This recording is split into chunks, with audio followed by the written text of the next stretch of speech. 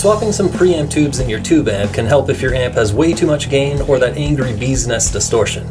I have one such amp right here, the Crate Vintage Club 50. I'm going to see if a 12AT7 or a 12AU7 in the V1 or V2 positions of this amp can help to defizz the overdrive or take the distortion down a few notches compared to the 12AX7 that comes stock with these amps. I'll reamp the same guitar loop through the amp which is mic'd with a single Shure SM57. No additional EQ or processing is applied. Being lower gain tubes, the AT and the AU will likely sound a little weaker at lower gain. So we'll try four different gain settings and see how they compare. Let's check it out.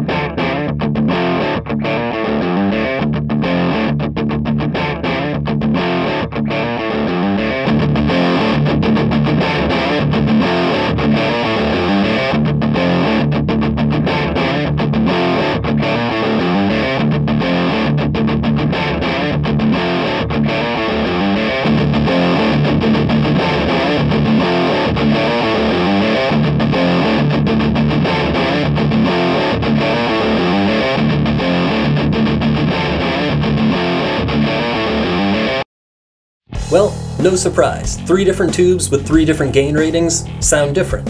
Of course, results might vary by amp, but here are my first impressions with this amp. The 12 AX7s are a bit harsh sounding to my ears, especially at higher gain. The AT and the AU seem to tame that mid-range bite or harshness or whatever you want to call it. I also hear what kind of sounds like a high frequency roll-off or some mid-scooping, depending on the tube and the tube's position in V1 or V2. Not surprisingly, the lower gain AU tube seems to bring this out more. Also, at lower gain, the AX definitely has more punch and volume. But at higher gain settings, to me, the AT and the AU offer a more usable distortion, and it sounds less like your amp's being swarmed by hornets. For a single tube mod, I kinda like the AU and V2. But for now, I left the AU in V1 and the AT in V2 for less irritating distortion at higher gain. It sounds a bit smoother and clearer to me, you might even say thinner, but overall at higher gain I find it a more usable distortion. So hopefully this helps with your adventures in tube swapping, let me know below. Thanks for watching.